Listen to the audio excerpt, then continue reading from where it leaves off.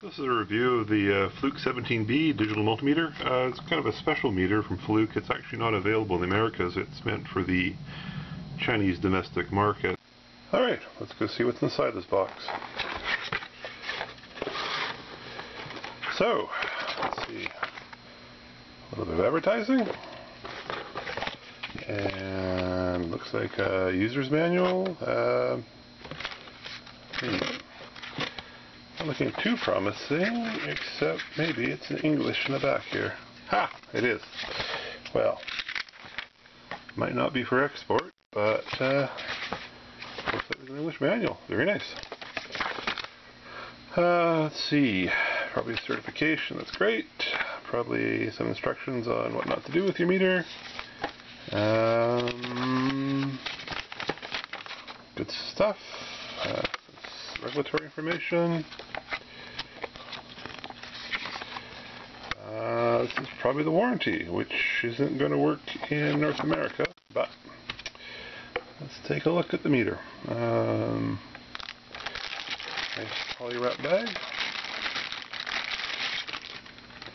There she is. Well, it sure looks like a fluke meter. That's pretty good to know. Classic yellow case. Well, we'll take a big look at that in a second. What else do you get in the box? Some leads. That's good. They got a protector. They're probably pretty sharp. Good stuff. And ah, a thermal sensor. So this meter can take temperature. That's kind of handy. And that's it. All right, let's take a look at close look at the meter. How this is the meter? Looks like it's got uh, AC volts. Good. It's right out of the box. DC volts, millivolts, uh, resistance, capacitance, current, milliamps, microamps. Oh yeah, this is definitely really good for uh, electronics design. And temperature.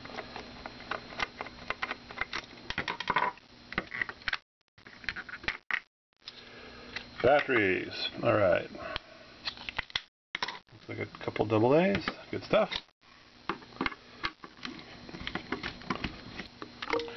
Alright, well this is definitely a decent meter actually. We got uh, the ceramic fuses. They uh, are a lot better in overload than glass fuses, which kind of explode all over the place when they really get stressed, so that's good.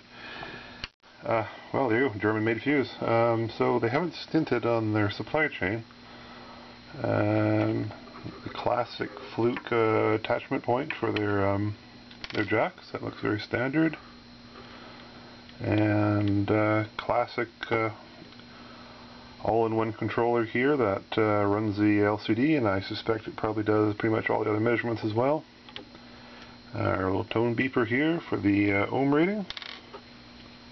And uh, down here, nice uh, precision loop of wire, probably for uh, current sensing. And, well, yeah, looks like there's some miscellaneous parts here. We got an oscillator, probably controls a little processor inside the product and uh, otherwise uh, pretty clean build quality. Alright, let's uh, take a peek at the other side of the board here. Alright, so some pretty, uh, pretty heavy greasing with some dielectric grease on the switches here. That'll keep them, I guess, lasting a good time. Enig plated, uh, basically gold plating on the uh, contacts there. That's awesome.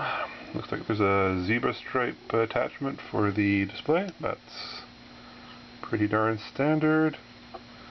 And there we can see uh, when it was uh, designed. Looks like it's uh, 2005.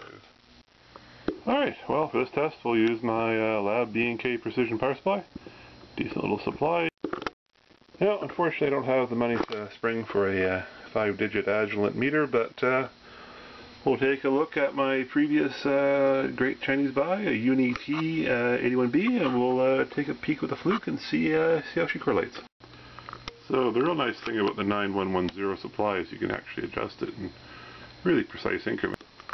Alright, so as you can see, uh, both meters are in uh, yeah, reasonable agreement. We have uh, 10 volts on the power supply nominally, and they're measuring couple millivolts lower, no surprise. Uh, the power supply meters on most power supplies are a little bit off. Put 11 volts in, and uh, yeah, pretty close. Let's put uh, 20 volts into the thing, and uh, yeah, pretty good correlation. So um, volt move a volt down, and uh, yeah, pretty decent. Let's uh, let's play with millivolts. Let's put uh, 50 millivolts into it, and let's see if she ranges down properly. 50.02. Yeah, pretty sweet. You can see the uh, Uni-T isn't so good of a meter. It uh, doesn't, I don't think it has auto ranging this thing, but uh, let's move it down a bit. Yeah, good, excellent, good correlation. So, um, what can I say? It's a voltmeter. Alright, well, one thing I didn't actually realize you got with this thing was um, a temperature sensor, and it's probably a small thermistor, it looks like, at the very end there, and uh, kind of handy.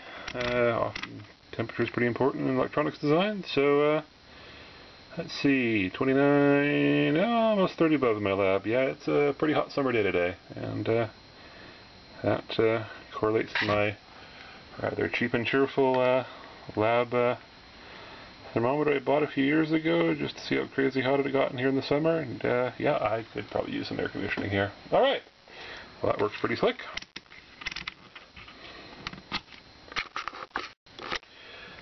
So, uh, basically, I think we're looking at uh, a really well-priced meter. It's around $100. Um, and uh, if you look uh, in the Fluke lines available in the Americas, uh, you know, it's an E7 is sort of the first one you get where you get the uh, the millivolts, which are pretty darn important when you do electronics work, milliamps, so uh, microamps even, that's really quite handy. So, you're looking at a pretty decent meter here for electronics work. Uh, looks like it's, yeah, basically a Fluke meter at a, a fine price.